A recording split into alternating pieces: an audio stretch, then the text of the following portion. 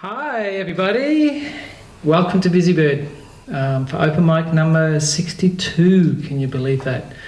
Um, yes, as you can notice, uh, um, Blaise and Les aren't here today. They are actually um, up in Brisbane uh, doing something very important, actually. They're, Les is um, pitching one of his books to um, movie producers to hopefully uh, be made into a, a, script and a movie. Um, the book is Pride, which we, we have over there. Um, it is published by Busybird, and it has been he has been invited to do this. So it's a big deal for Les and for, for Busybird that it's been recognised in this way. And I'd like to really congratulate him for his efforts to get it this far. And I'm sure he did really well today pitching um, it to the producers. So, um, yeah, hopefully next time when you see them, uh, you can ask about it. And he has some news on um, uh, where it's all gone from today. So, um, yeah, they'll be here for the next open mic. Uh, while love remains.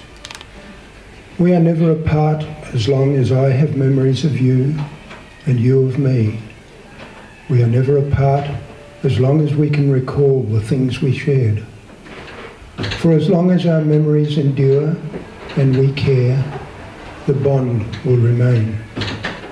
We shall never be apart, for as long as memories shared are cherished by us both. Though land and water may separate us, they cannot separate our hearts. For the earth extends from where I am to where you are, and it is the same earth. I can touch it where I am, and you where you are, and the earth will link our touch. I can look at the moon and know that you are looking at the same moon. I can drift through time and know it is the same time I drift through with you. We shall never be apart for as long as love remains. We shall never be alone.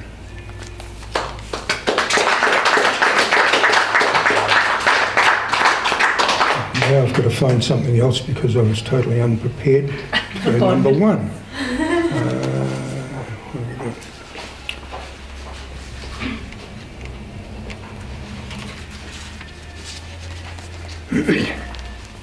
these are from. Uh,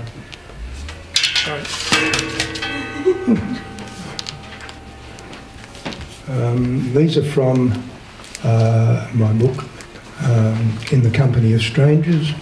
And if you find yourself absolutely unable to continue your lives without having a copy, there'll be one down there. Uh, anyway, um, the next one is Our Winter Lives. They disappear more quickly in the colder, barren climes where snow falls steadily and covers them.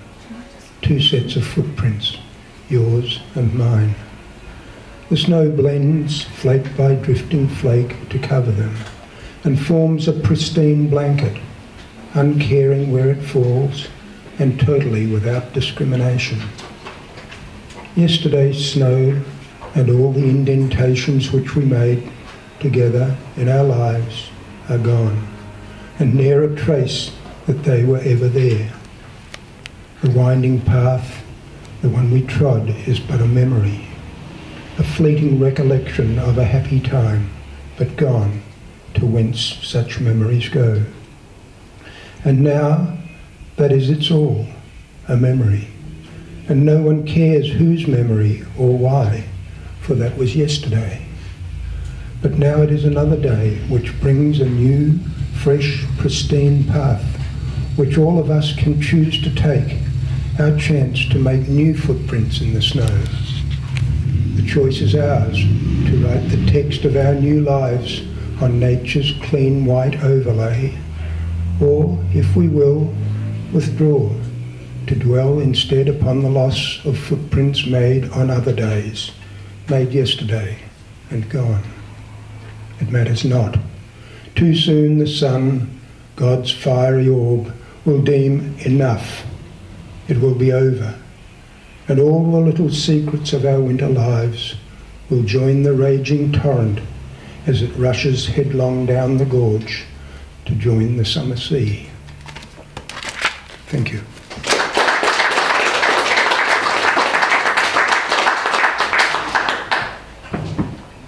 Thank you, Richard.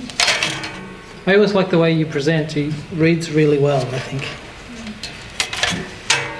Um, okay. I think we'll go for John, if it's all right. Yeah. Yeah. John is going to do a prose, and I'll let him introduce it. Thank you, thank you. Uh, this is my first reading of anything I think that I have finally figured I had a manuscript that made sense in the sense that it was a, it felt finished or as completed as I could get it after a lot of those early morning starts and a lot of diligence and rewriting and revisits to get what we affectionately call a first draft. Um, I often wonder if it should be, instead of a finished first draft, it should be this, uh, I can't do it anymore, 102nd draft or something, but whatever. I've, and uh, so this is where it's up to. Uh, set in a small country town, there's a bit of backstory, but I've just picked one chapter where this young guy and his daughter um, have moved into this town, so they had to uproot the girl to move there, and she's six, so her life has become uh, a ruined mess, I guess, in six year old language because she's had to leave all her friends in the city and she's been dumped by her parents in the town. But dad's driving her to work today, which is another part of the story. This is chapter two in the story. The, the story is called Ivy's Secret. Pete waited by the front door for Susie, the six year old daughter, or sorry, his six year old daughter. Theoretically, all she had to do was grab a school bag from the kitchen and head out to the car. The lunch Sam had made, that Samantha, his wife, had made earlier was already in a bag as well as two pieces of fruit, a small plastic bag with a lone Tim Tam biscuit, and the drawing Susie had done of her family that was part of her introducing herself to new her classmates and teacher. The Tim Tam was one of Susie's favourites and a special extra treat to help celebrate the challenge of starting in her new school. They debated including it, but decided to relax their no lollies policy just this once. Moving to a new school was no, no easy task at six years of age. Suze, he called. He could hear her back in the room rummaging around looking for something she had to have. It sounded as though she was pulling everything out from everywhere and throwing it all around the room. Come on, Suze, time to go. We don't want to be late. I found Bear, but Princess is hiding, she called out. Bear was Susie's favourite soft toy that somehow survived their apartment being trashed, while Princess was her new and now favourite dolly to replace the one she'd lost. It had been hard for her, hard for their little girl to lose so many of her favourite things, but finding Bear alive and well in the carnage had made it a little bit easier. That was the only good news from that horrible day. This morning, Pete remembered Sam saying that Susie wanted to take both toys in for today's show and tell. A drawing of her family wasn't enough, it seemed. Seeing as how this was only her third day at this school, and she was still not entirely happy about leaving all her city friends back in Melbourne, Sam had asked him to go gently with her today. Gentle was one thing, but he didn't want to be late when he told the principal on Saturday at the working bee he'd be there by 8.45. He checked his watch again and wondered how someone so small could take so much time doing whatever it was she needed to do to get out the door. Something crashed, and Susie ran out grinning from ear to ear. She had Bear in one hand and Princess in the other. She was hiding in the wardrobe, she grinned happily before skipping past him and out the front door. He was about to call her back to pick up a school bag, but decided it would be easier and faster if he just did it himself. Pete made sure Susie's booster seat seatbelt was secure before closing her door and hurrying around to his side. He jumped into the driver's seat, grabbed the ignition key, and turned to his daughter, who was waiting expectantly with a big smile on her face. Ready? he asked his co pilot. Ready, Susie giggled, and they both said ignition together as Pete turned the key and the engine started. Yay, Susie giggled again. All systems go, Pete said, and he fastened his seatbelt. Blast off, Susie shouted happily, and he steered the ute across the gravel, past Sam's dead Toyota, out the front gate, and turned down the narrow sealed road that wound down the sides of the valley towards Rocky Creek. They didn't see the dark sedan parked way back in under the tree line against the fence out front of his neighbour's property. They hadn't seen it the last few days either. It blended into the heavy morning shadows perfectly. There were two men inside the dark sedan. As soon as Pete's ute was gone, one got out from the front passenger side and quietly closed the door behind him. He kept to the shadows as he made his way along the front fence line to the driveway, slipped in through the open gate, headed wide past the dead car and around to the back of the house, being careful not to leave any footprints. In the car, his partner took out his cell phone and waited. After a minute, it vibrated silently. I'm in, his partner said. All good, the driver confirmed. He slipped his phone back into his shirt pocket where he would feel it vibrate, started the car, turned out into the road, and headed towards town after Pete and Susie. Yeah, thank you. Did someone leave their ticket up here? Oh, yeah. Yeah. Oh, I'm winning. I'm winning. cool. Thanks, Jonathan. Alrighty. Next up, we shall choose Sue, who's going to do a short story called "The Basketball Star."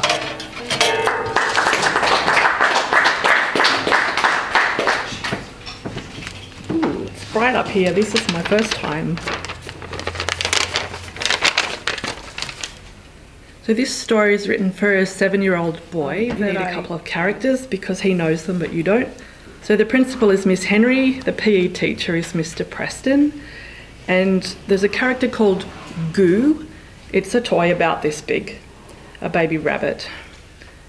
The basketball star. Ah, sorry, one more thing. This child, because he's in a literacy program, has a limited amount of things, letter combinations he can read, so I thought I'd show you. He can read the sounds A to Z, the capital and lowercase. These digraphs, which is th, sh, and n. These sounds and these combinations. So I'm writing a story that he can read. The basketball star. Each night, Zach has a dream. He dreams he is a basketball star. He dreams that he is the fastest runner, the best shooter, and the trickiest dribbler in the whole world. Each morning he wakes up and goes to school. He has mini lit with Miss Forrest, maths with Miss Ford, and main class with Miss Knox. But even in class, he dreams he is a basketball star. Zach likes PE best of all. The teacher, Mr. Preston, has legs even longer than Goo. Zach is already quick, but he wishes his legs and arms were long too. At lunch, Zach shoots goals with his friends. After school, he runs to the basketball court to train. He does running forwards, running backwards, and running sideways. He does dribbling, dodging, and more goal shooting. At home, his family make him a milkshake and say, That's our boy. He's going to be a star. After dinner, Zach goes to bed early and dreams. When he wakes, something strange has happened. He goes to school and he is as tall as Mr. Preston. Then Miss Henry comes into the room. A player in the state team has broken his leg. She needs to find another player. Zach, she says, are you free on Saturday to play for Victoria? Zach is crazy with happiness on the inside, but he just says, Yes, Miss Henry, that will be great. His dream is coming true. Thank you.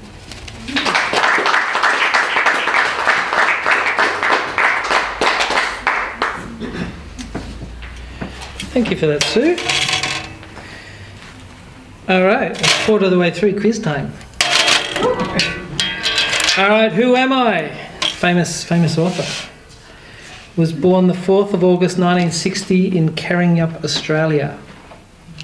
Tim Winton. Oh.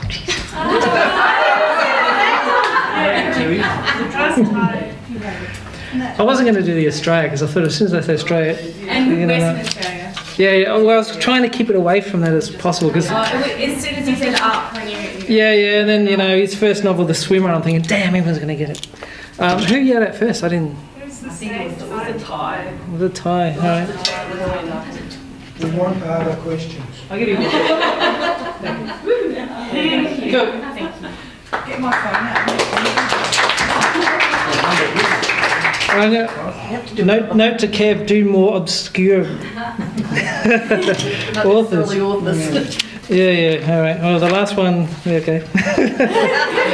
um, all right. I, who is it? Um, it's Les Zigomanis. No. Um, Rosemary. I saw you enjoying your wine, so I thought I'd. Rosemary's going to do a poem called Dark Poetic Nights.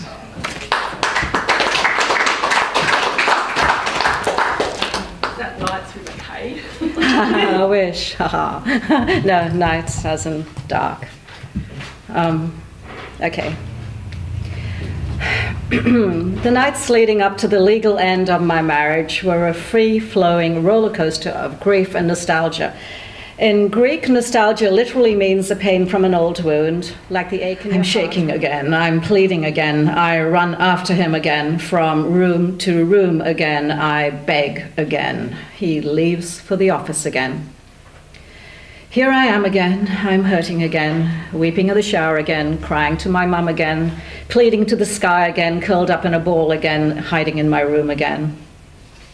You're sorry again.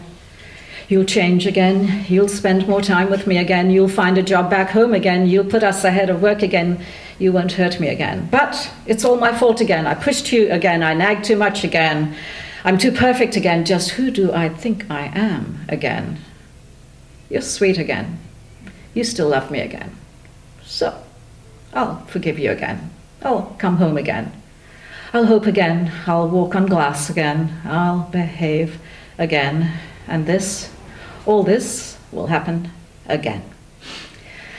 And the next poem, depressing, is called He Just Wasn't That Into Me. It was written about the time when this book came about that I think maybe, hopefully, some of you knew, and a movie after that. So here we go.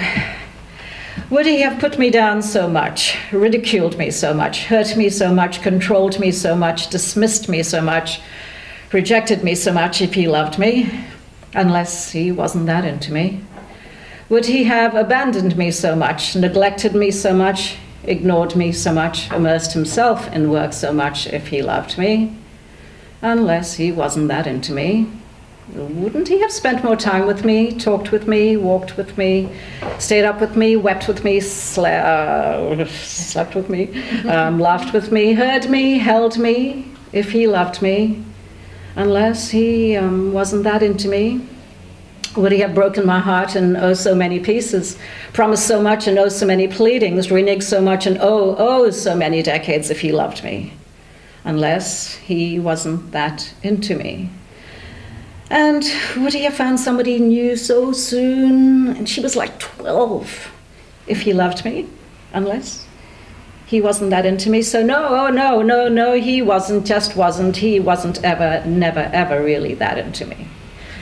And the last poem when the hurt.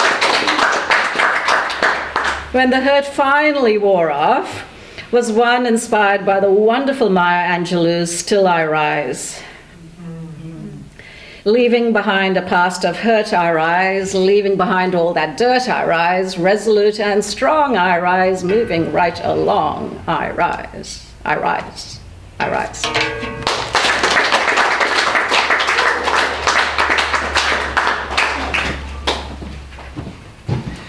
Thank you, Rosemary.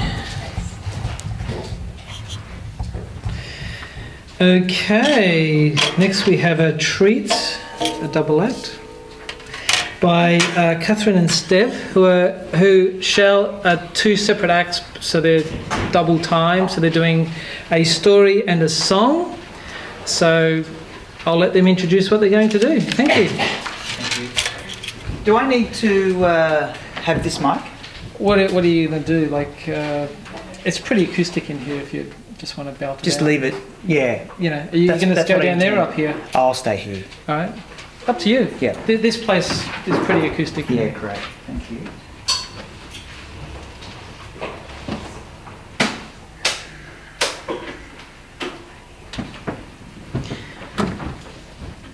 Hi, everybody. Um, we're going to do a story first. And then a song.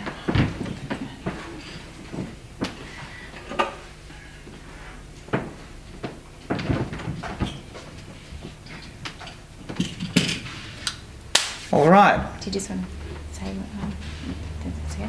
Just to say the name company? I don't know, whatever. Just say the name company. with the story. Yeah. Okay, so uh, we're just going to have some flute, flute accompaniment. So this is the story of the princess who never cried. Why did she need to? She always got everything she wanted.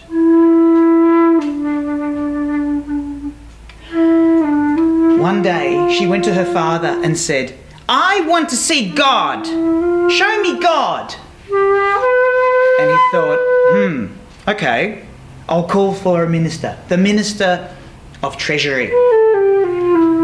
Minister arrived and he took the princess up, up, up to a big room at the top of the castle. It was filled with jewels and gold glittering. And the minister said, Here you go, princess. This is as good as God. I don't want to see gold. I want to see God. So they went back down to the king. Sorry, sire, I was unable to show your daughter God. Oh, by the way, you have a very rude little girl.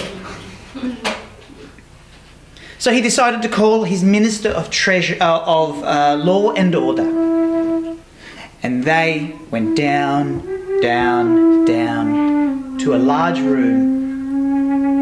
Doors opened. The room was filled from ceiling to floor with bookshelves filled with books. The minister grabbed a large book, laid it out, and said, Princess, this is as good as God.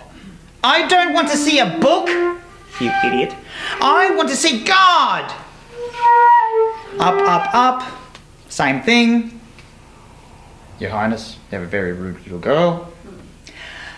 The, guy, the, the, the king was at his wits' end. He didn't know what to do. So he started looking under the pillow slip, under the bed, behind the curtains. Nothing. So he decided he'd go out into his garden and something that he hadn't done for a very long time. He walked out into his kingdom. And there he saw an old man planting a fruit tree. He was amused. He said, Old man, do you really think that you'll eat the fruit from this tree? No, I probably won't. My children, their children, God willing. Old man, do you know something about God?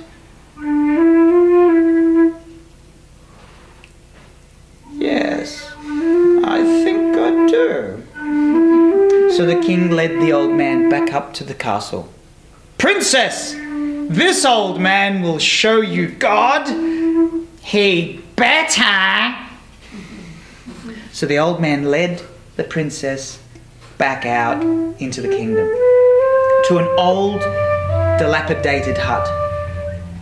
The old man pushed the door open and walked in first. And there, sitting in a chair at a table, was a, a young girl, smiling. The princess entered.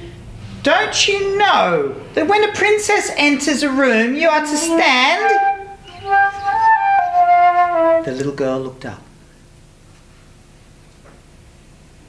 I can't stand. My legs don't work. So, I'm just a bit distracted. So, the princess backed out of the room and back up to the castle. The old man looked, when they got back to the castle, looked at the princess and said, Are you ready? "R- ready for what? He handed her a mirror. And she looked at the mirror. She closed her eyes. And then, for the first time in her life, a single tear ran down her face.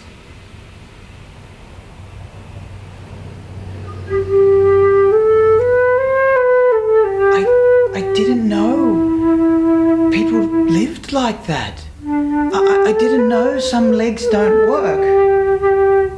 Do you think maybe if I bring her some toys and some dresses? It'll help. It, it would make things better. The old man smiled. He took the princess's hands in his own and he said to her, Now you have found God. The end.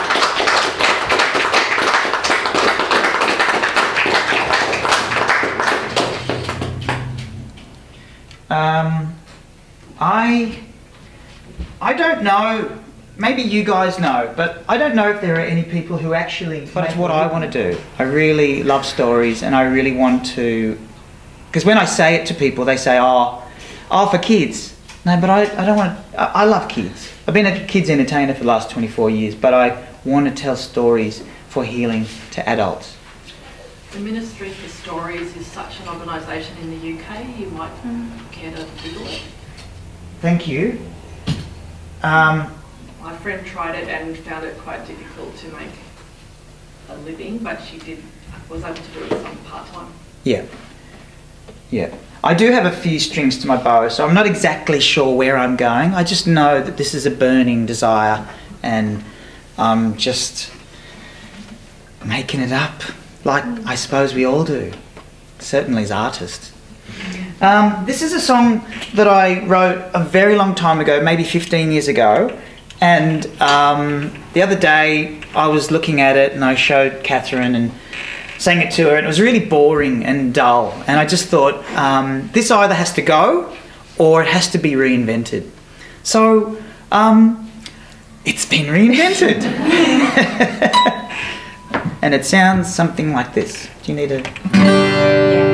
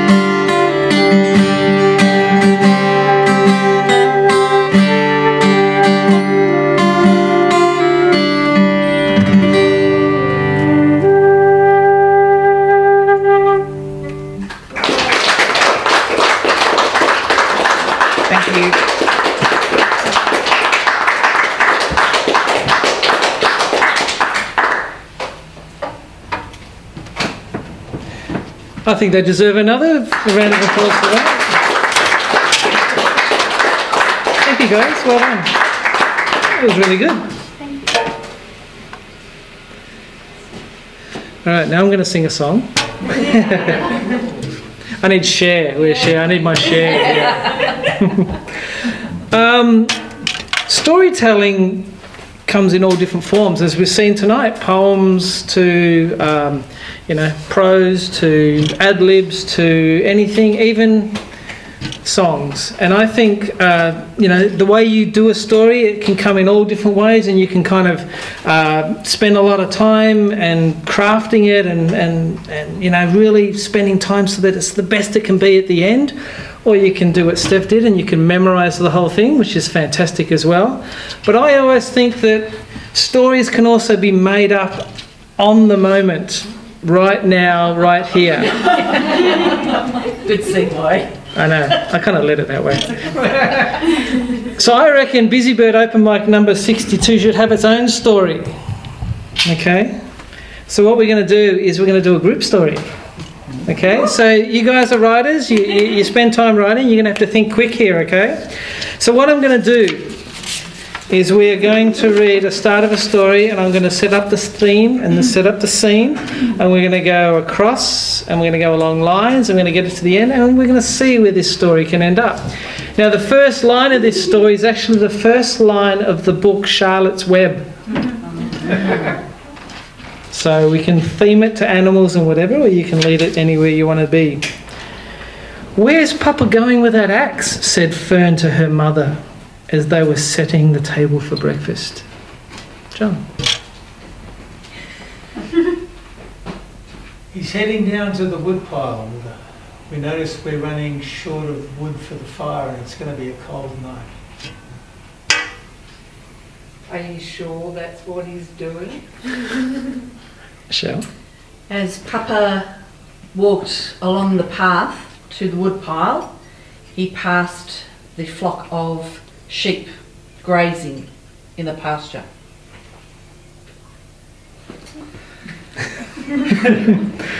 And you noticed that one of the sheep was in, seemed to be in distress.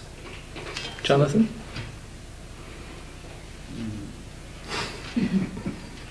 First thing in your mind, come on. Usually a sheep was in distress if his wool wasn't shown off, but on the contrary, his wool wasn't growing at all. It was almost naked. So I'm wondering where Steph's going to follow with this. His axe was so sharp he could he could cut the moustache off a sheep. And this sheep was a very fussy sheep. He only wanted the best of Baba. Uh-huh. Papa, yelled Mama, come quickly. There's a sheep to be sure. So all the sheep looked at the glinting axe. Lots of different sheep wanted different outfits. Now, now let me just say, Maria, you're going to be last, so you're going to have to finish this off, all right? So let's keep going. Sheep really wanted to wear their outfits to the Royal Melbourne Show, where they could watch as the, the wood chopping contest uh, was played out in the main arena. And the um, whoever he was, was the favourite to win the wood chopping contest.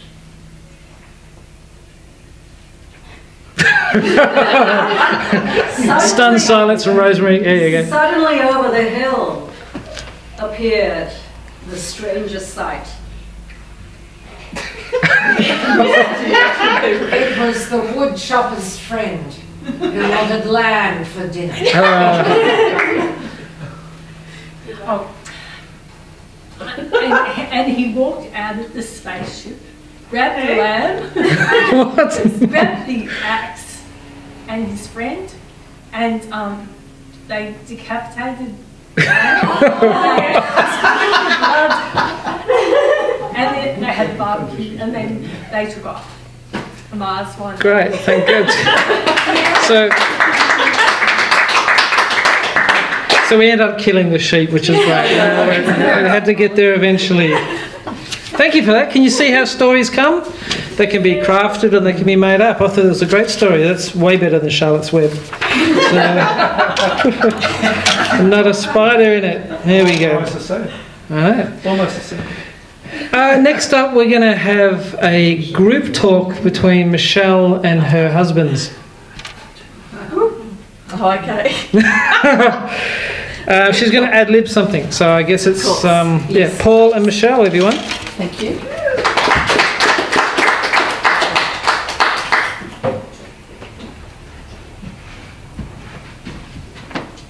I'll put him there and I'll put the. So, please. He's falling over. Painting under the lights. He is. Okay.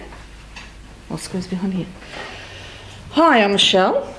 And for you, for those who have come to um, open mic nights for a couple of years, you probably know some version of this. Oh, bless you. Um, this is Paul, my late husband. He passed away, it's 34 months today. Um, and I wrote the story of Conversations with Paul, which was his journey of. Um, he had a rare melanoma in the spine, and it took 12 months, or over a two year period, but 12 months he had five spinal surgeries and one brain surgery. Went through radiation and chemo and whatever.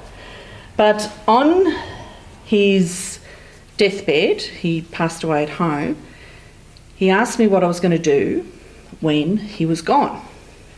That's pretty confronting to ask your partner, What are you going to do when I'm gone? But there was a lot of conversations around, you know, him going and me staying. And I said, I'm going to go travelling. And he said, You're not, are you? And I said, Yeah, I'm going to go travelling. And, you know, all the places that we were going to go, I'm going to go to, and I'm going to take you in some format, which wasn't necessarily a cardboard format, but that's how he eventuated a cardboard format. And we're gonna, I'm going to go travelling. So in May 2017, I booked tickets to see Paul McCartney in New York. Never been travelling by myself. Him and I went to New Zealand on a honeymoon, but so I booked those tickets and said, okay, well, I need to find a, a travel agent and I need to go um, travelling. So it just morphed from there. So I went away for nine weeks in August 2017. And on that journey, I had this version with me, although this is a totally different version now. But the old version, if you saw, if you were here a couple of months back, he's um, very um, destroyed, put it that way, and he's put together with gaffer tape at the moment. So, um, and I've just had these made. So, what we did was um, I took him on some tours, and I've written the book Travelling with Cardboard Paul. So it's hashtag Travelling with Cardboard Paul, the most travelled cardboard Paul, cardboard cutout in the world. And so he's been all around America, New York. We went through Texas um, via bus and train. I packed him in a suitcase. He's got his own travelling bag. He's um, been to Paris. We've been to London, Windsor Castle. You name it, he's been there. So um, the book is now finished. It's with Busybird Publishing. It's been edited and it's ready to go to layout, I think, and and so that's where we're at with that. Um, I'm launching the book on in May on his and in his on his third ad, roughly around about his third Avenue um, anniversary, and so I decided that um, I'd get two versions. So this is the younger version, and I thought I'd get the older version. So he was he went. The kids gave him a Father's Day lap around um, in a Formula Ford out at Broadfoot. So um, this is Paul.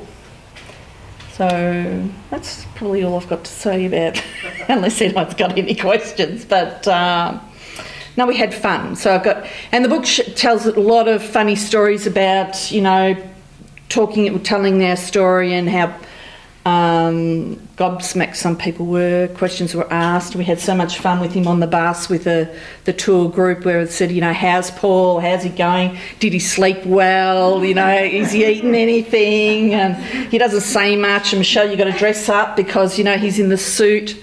So, um, but So no, we, Michelle, we have there's trouble. actually a security issue at one stage, there? There was a security issue. There was. Thank you. it's in the book. But um, we're in New York, and I went to the Empire State Building, and uh, speak quick one. And um, so I put him through the security, and the security person stopped me and said, um, "What's this?" And I said. It's cardboard cutout of my late husband. And so she went to another security person in a suit, and, and he said, No, you can't take him up there. And I'm going, and I'm. He might jump. No, he was such a security risk. he was such a security risk that you know America was, you know, because Carbon Cut was going to attack him. I've got no idea. So we went. So when I when I went up, and I was really disappointed because I couldn't take him up the top, but I, I went. I walked up and took photos, and then when I came back down and I had to go through security again to pick him up. Um, the guy in the suit stood, you know, stood past me and uh, stood beside me and said, "Oh, what's the story?" And I told him the story, and he says, "Oh, it's good that you're moving on." And I went, "Who the hell do you think you are? You don't know me. You don't know what I went through."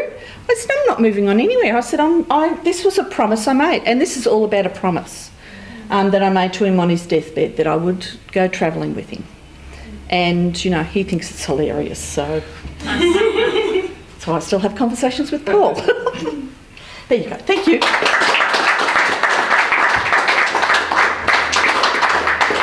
So we're going to have fun on Monday, aren't we, Kev? I'm doing a photo shoot with Michelle and Paul's. Um, and I haven't realised, but actually, uh, uh, it's an easy job for me to get him to smile. It's actually smiling him back. So I don't have to do the whole kind of, you know, say elephant undies and all that kind of stuff. Don't, don't and have to the do that. funny, funny thing about him is, depending on the angle, you swear he's changing his smile. Mhm. Or he's, yeah, it's just, Do, do you wake up at night and, and he's moved around the house? No. Oh, Yeah. yes. The kids, my kids think I'm crazy. But I don't care. That's good. Good. So look forward to that book because, um, as you said, he's the most well-travelled cardboard cutter in the world. So He is. Yeah. And no one else has done it. no, it's your niche. Um, Okay. Widows groups all over the world and also on Facebook and things. I know, I don't travel with some you're of them. connected with any of Yeah. them, but I, I know a lot of them and, um, yeah, I reckon that's lovely. You could you could do European tours with wives with cardboard cutouts of all their husbands we and could. just go and do. We're going again in August. So we're travelling again in August to Edinburgh. Okay. Second book. There's an American comedian called um, Kelley Lynn, and she released a book last year called My Husband's Not a Rainbow. Yeah. But she's done all sorts of things over there on the Soaring Spirits group. I don't know if you've heard of them, but they No. uh, they do stuff all over the US. Yeah, I'll, I'll meet up with her. They're touring. Alrighty, let's go to Marie if you want. If you want to come up, who's going to do a play?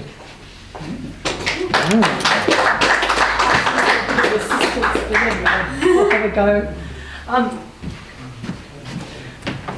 so I've spent the past uh, few months um, putting together seven art books, and this one's called Willow Pattern Play. Um, so I, I was walked in, I looked, and there was Kunsi instead of Chan on in one of the first paragraphs that somehow had been inserted by some delightful Trojan. So this is the world we live in. anyway, um, so what I'll do is I'll just read a little. If I can untangle my hair. Okay.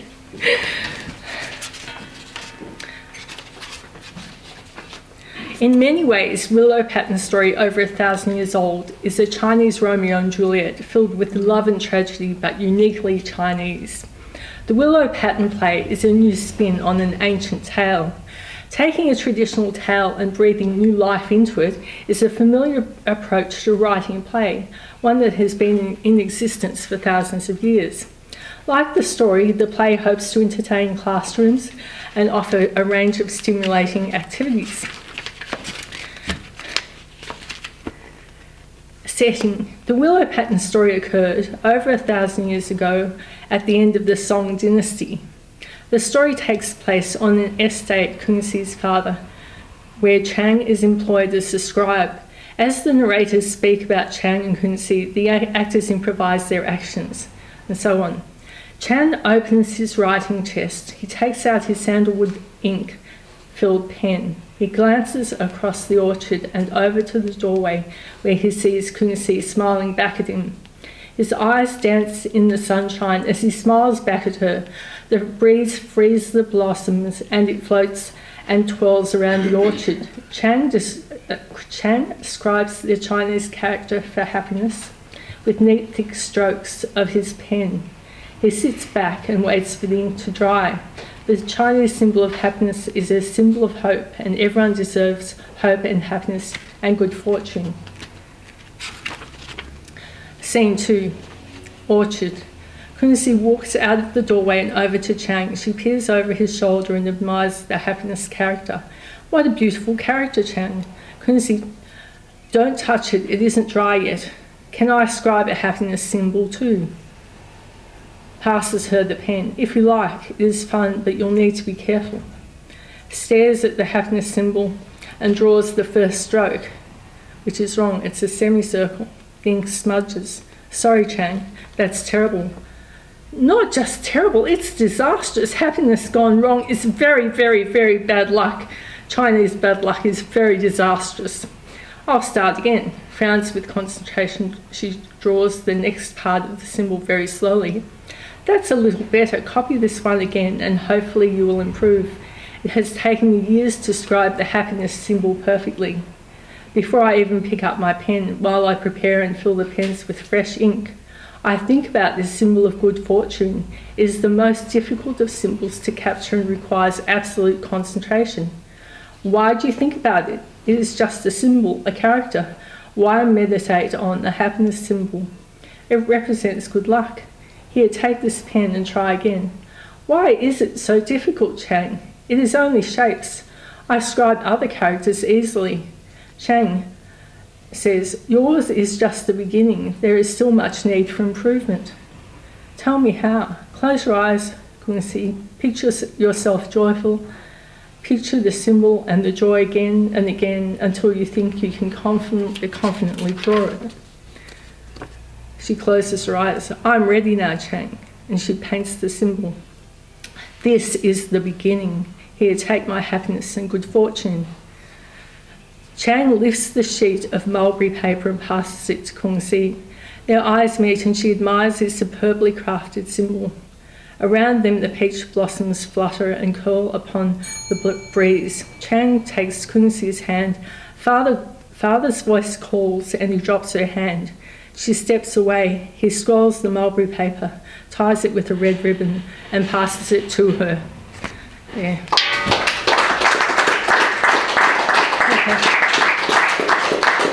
I put some bookmarks over there. Thank you. Thank you for that.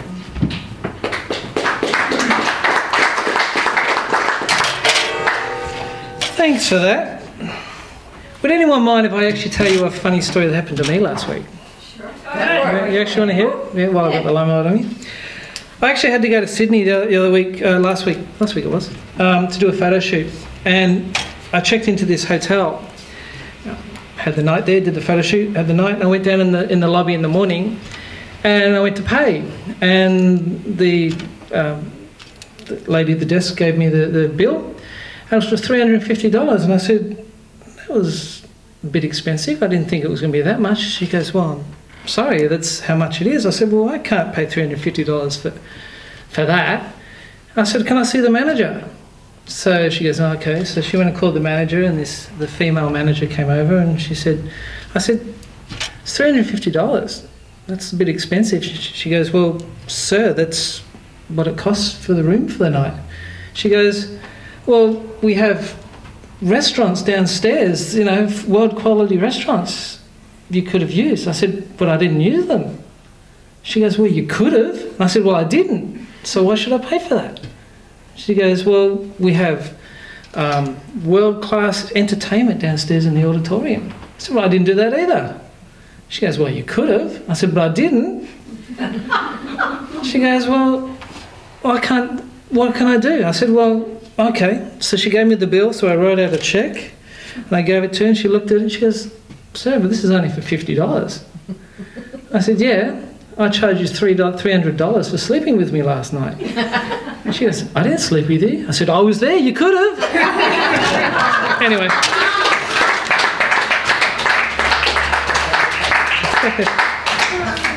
yeah. Funny if that actually happened. Anyway. it would have been. I know. Judy, would you like to get up? I'm not going to leave you to last. What's that? Judy Taylor's doing self expression by the look of it. Writing is a healing tool.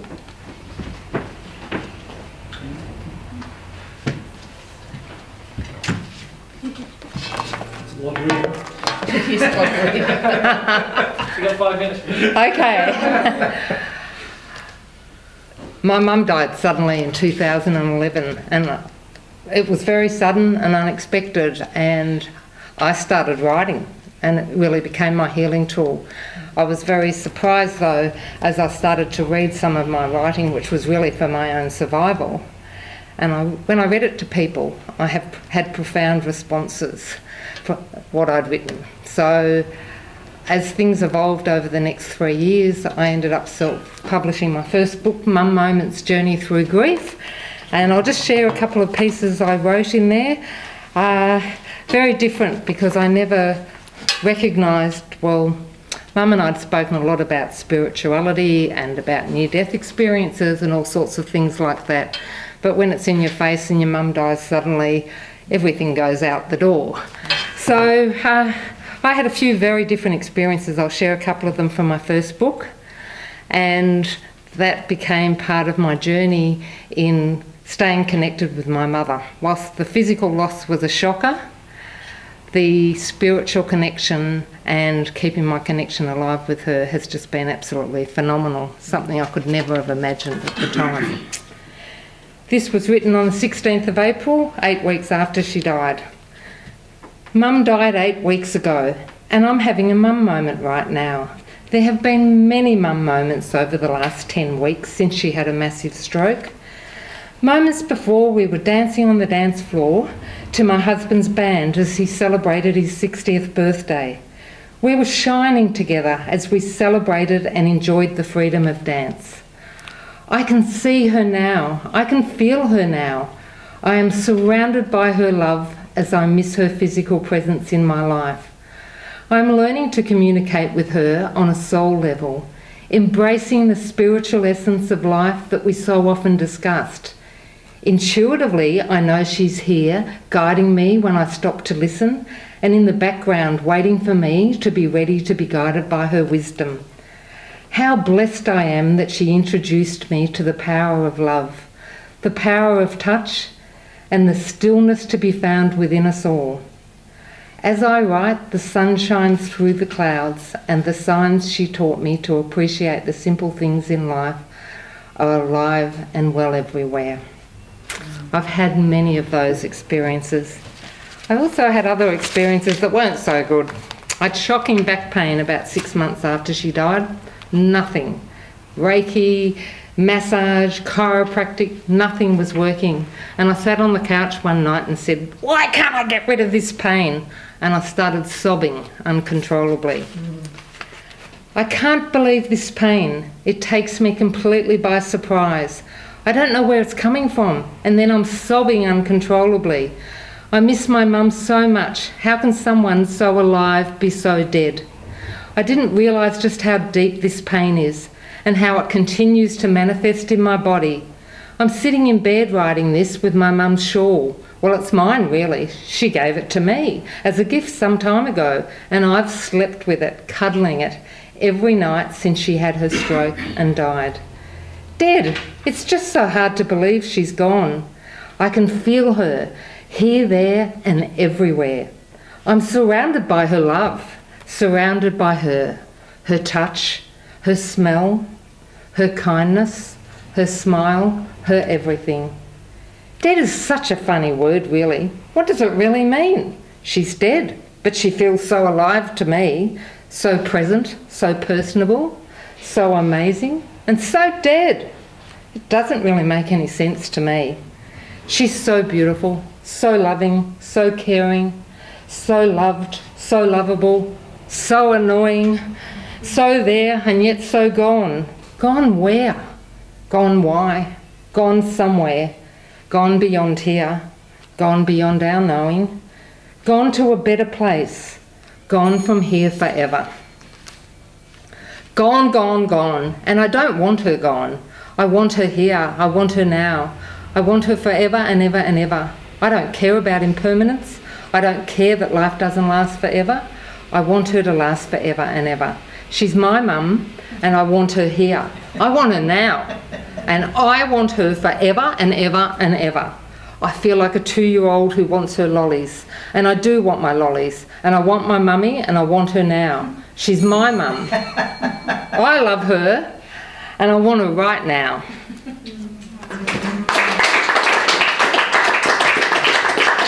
Can I add just a little bit? I won't read that. That was my first book, and it was a journey in discovering how you still could stay connected. Mm. The physical loss is still shocking in my experience. However, she kept challenging me all along the way, and you know, my writing has become the conversations I used to have on the phone with her. So, my second book, which was released two years after that, was Heart Space Letters to My Mother, where I continued to write to her and I continued to develop. As I wrote, I listened to her whispers, and the more I listened, the more I heard.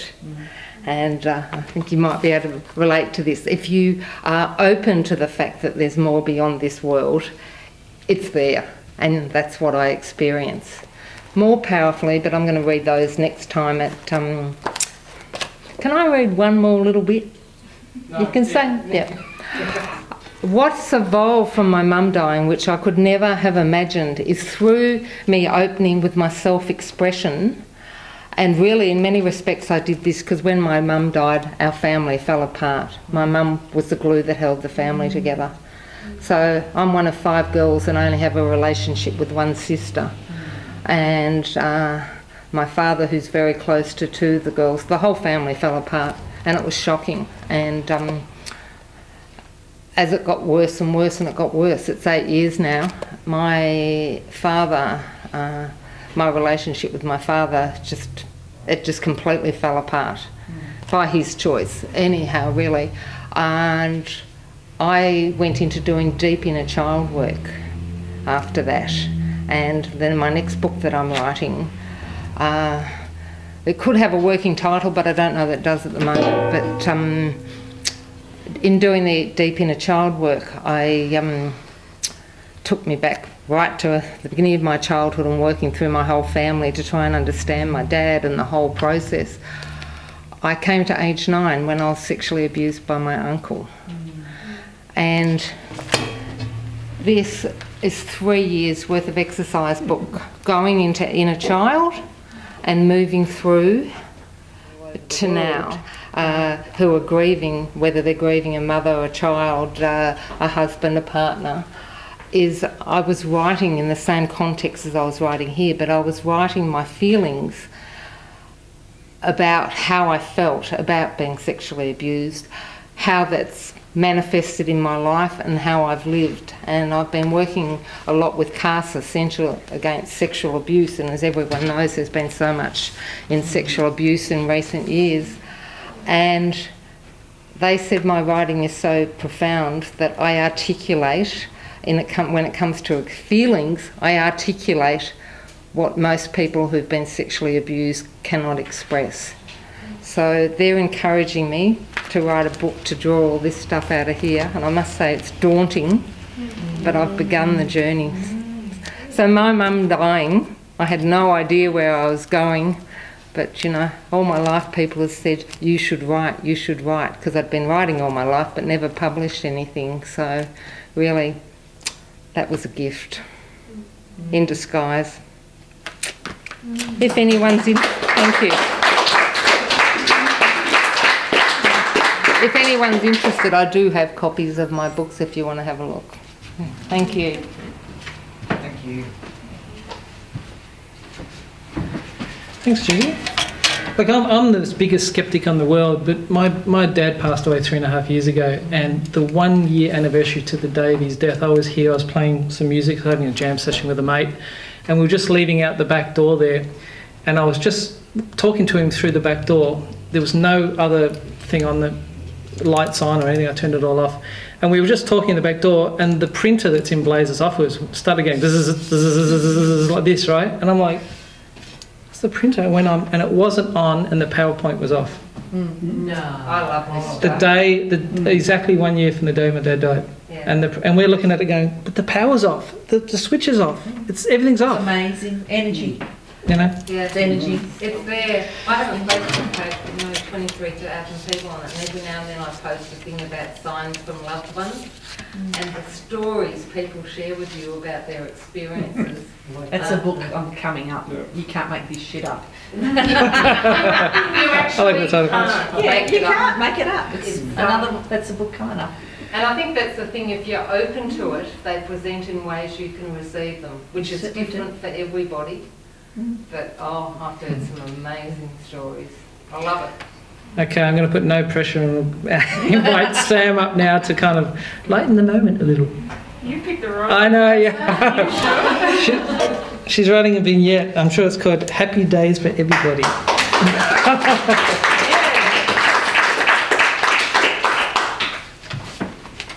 I, you, you have been warned, you have picked the wrong person. Um, so, I wanted to write something new. I haven't written something new in a really long time. Uh, and I tried, and I tried, and I tried, and I tried, and I tried, and I tried. And, and, and I know so many of you are going to know this feeling where you're just like feeling like you've, you've, you've booked yourself into the race and you've got the number on your back and you are crawling instead of running and the finish line's a really long way away. um, I had an hour this evening, and I was like, well, I don't have anything, and I'm going to stand up there and have a panic attack, so I may as well take everyone along with me. Let me walk you through it.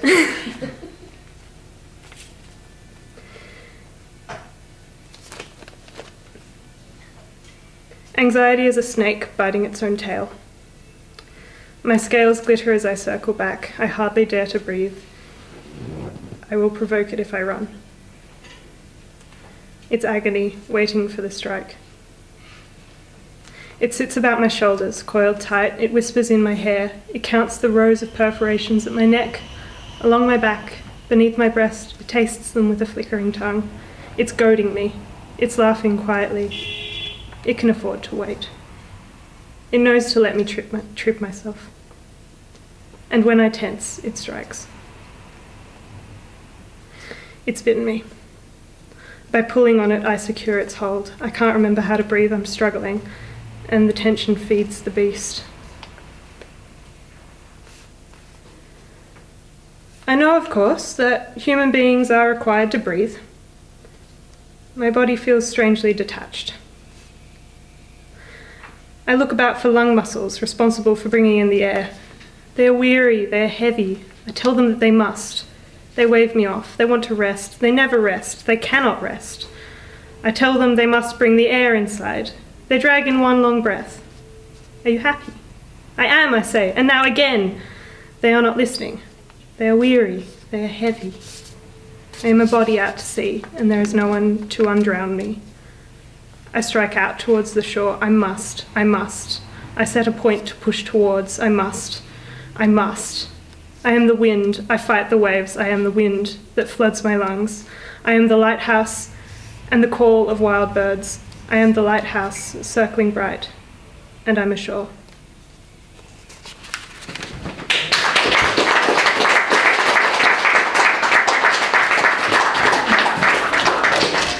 And she was seriously stressing about that today. She hadn't written anything when she left work here today. And she had to do it between when she left here and came back. So I thought that was pretty good.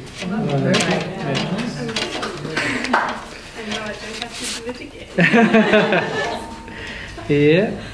Let me just do a little spruik. Um, Busybird is not only a publisher, but we are actually in the education area. Les and Blaise, who are, are not here, um, are very big in education and helping writers uh, craft their work and getting better. Um, if you know Les, he's probably the best editor in the world, and he's an amazing person to teach you in Blaise's as well. So um, we have a lot of different things coming up. We have boot camps coming up. Um, uh, I think it's uh, uh, June or July, something like that. Um, but we actually have our bar- Busybird Bali Writing Retreat. Which is uh, still going on, and June the 8th to the 13th it's a big step for us to actually uh, take people overseas and do it that. So um, if you're looking for, or you know someone that's looking for a bit of pampering, everything that Bali has to offer, plus amazing, um, you know, mentorship with your work. Um, you can't go past that. So, you know, ring Blaise and Les and have a chat if you're interested in that. All right.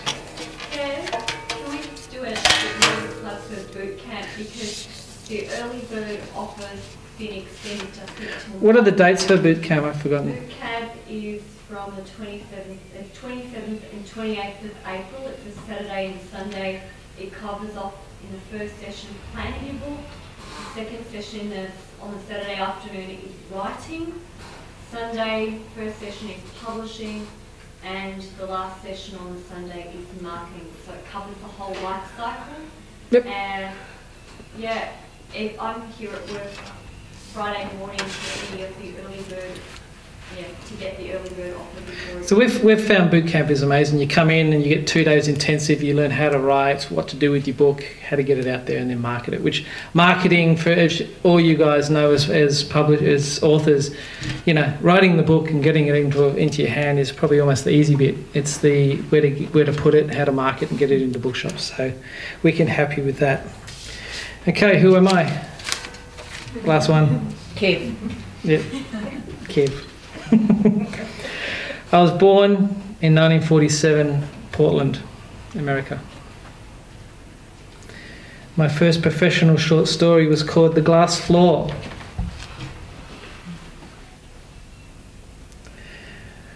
I had a normal 9 to 5 job, but in the night I was writing stories for men's magazines such as Cavalier. 1971, I became a teacher. Geez, don't know your authors. I got one. I got past about four, four questions. What did you say? Did I say uh, Stephen King? Ah, Jesus! Wait, so many good. Can I can I actually read? Can I actually read? Um, he has a, a, philosophy on writing, and if you want to actually hear Stephen King's philosophy on writing, because I actually thought it was pretty good. It says you must read and write for at least four to six hours a day. Now, who's got that time? Seriously? No, you can, if you cannot find time for that, you cannot expect to become a good writer.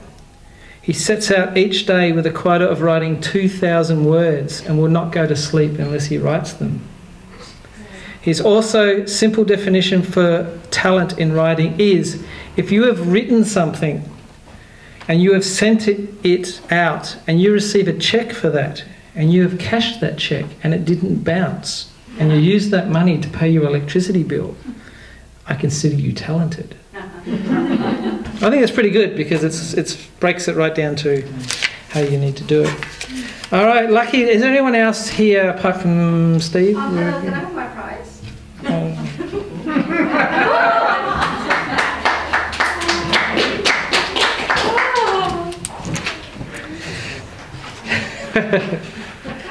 um, is there anyone else apart from Steve that wants to read? No? Anyone? I think everyone's on. I actually thought I'd leave Steve last because I thought he was going to do these funny, jokey things. But actually, I've just read it says opinion piece, so I thought we're, we're going to finish on a funny note. But uh, No. we're not. Okay, Steve DeGarda, everybody. Um, so it's too a bit of the religious theme, but actually we'll do a funny bit talking about because I lost my wife seven years ago, and um, one of the things when you do lose a partner, it does free you up. Making decisions around the house, like if you need to buy new furniture or buy a new car, you don't have to have that discussion as to what should we do. It's, it's all up to you. And then, but one night I had a dream, and I was changing things around the house, and Maria was there. We said, "No, you can't do that. You can't do this. You can't do that." But, but you're not here. so yeah. so you still get nagged in the afterlife. Um, you do. Yeah, but uh, today I'm doing a big reveal. I am coming out. I'm a religious fundamentalist. But don't worry, I'm still a progressive Christian, and, and, and in fact, a progressive, progressive Catholic. Uh, but essentially, because I'm a progressive Christian, that I'm a consider myself a religious fundamentalist. So let me explain. I consider myself to be a religious, religious fundamentalist because I fervently believe that all religions are based on the same fundamental premise. The premise is that we're all part, part of, or owe our allegiance to, a higher power, and our combined worth is greater than the sum of our parts. All religions are based on this fundamental belief, and all religions believe that, because of this belief, we need to respect the needs and wishes of others, prevent the exploitation of our environment, and give thanks for the world we live in and the people, plants, and animals that we share it with. We need to do these things not because it's good to be just good to be nice to other people, but because we cannot separate ourselves from the entity we belong to, and we must be good to ourselves. I believe this because I believe religion to be inseparable from our existence.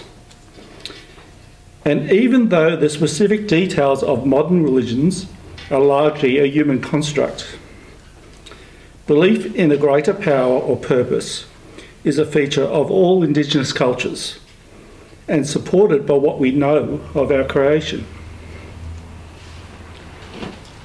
In what appears to be a fluke cosmic calamity, there was a Big Bang. And from that bang came the universe, galaxies, and planets.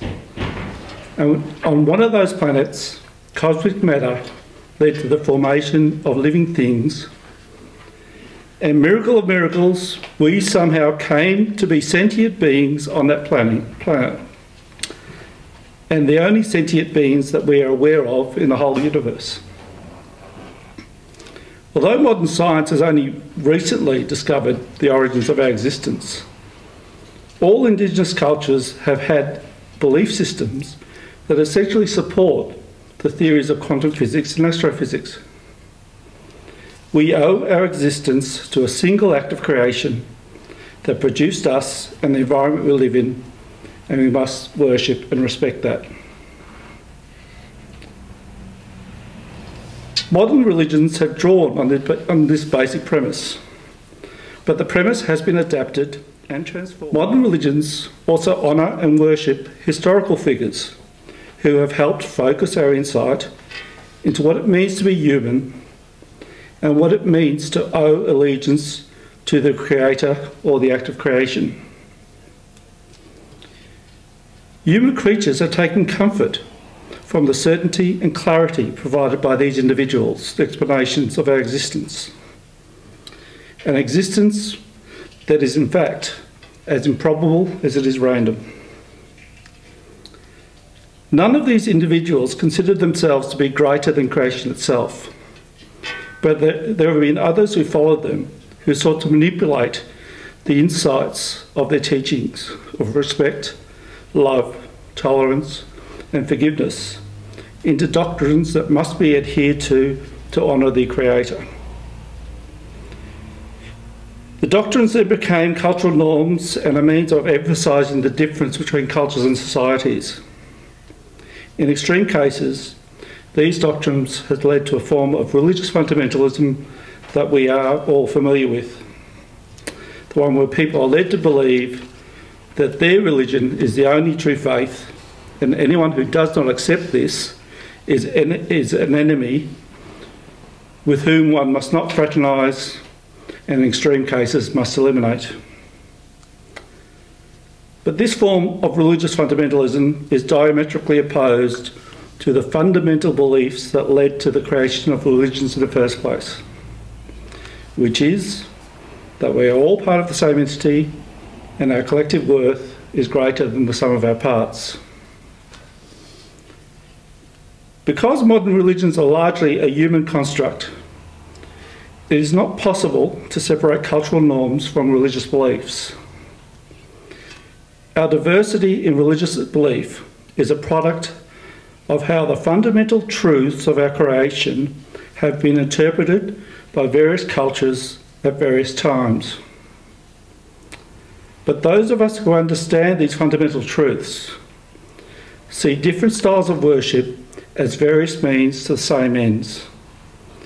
That, are, that of focusing our collective energies to respecting the needs and wishes of others, preventing the exploitation of our environment, and giving thanks for the world we live in and the people and plants and animals we share it with. This is the religious fundamentalism that I believe in and the one I want the world to understand. Thank you.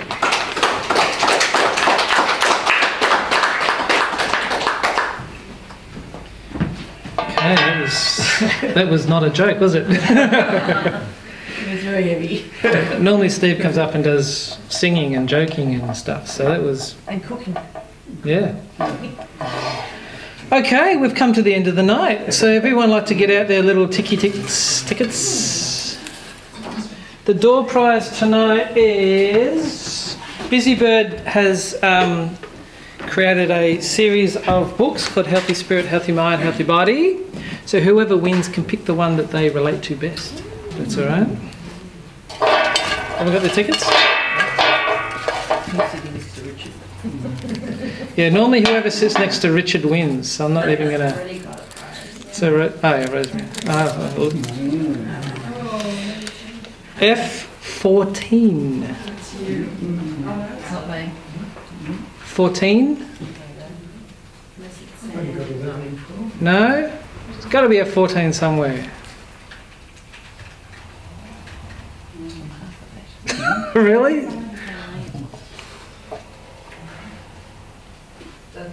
Dun, dun, dun. No, no one's got a 14. Ah. That's Put too many in. Someone that came oh, later. We came early. No? Yeah. Did anyone come up? Rosemary's friend? What? No, no, she's 15. I'm so 15. Redraw. Do it again. Want to do a redraw? All right, here we go. 14's out. Uh, they just appeared into probably Paul. Probably. Yeah. Dun dun dun. FO9. Yay. Hey. I'm sorry, the last prize I won here was, or the only prize I won here was Healthy Body. Okay. So I'm going to go for Healthy Spirit. Beautiful. Excellent. Well, again, everyone, thank you for coming tonight. Um, I think you all agree that was a big mix of stuff, wasn't it? That was really that was a genres to funny, happy, heavy, whatever. I think that was fantastic. So, for for a smaller group, that was really well done. So, stay, have some food. The urns on, the wine's open. Have some nibbles, and um, yeah, we hope to see you again next month. Thank you for coming.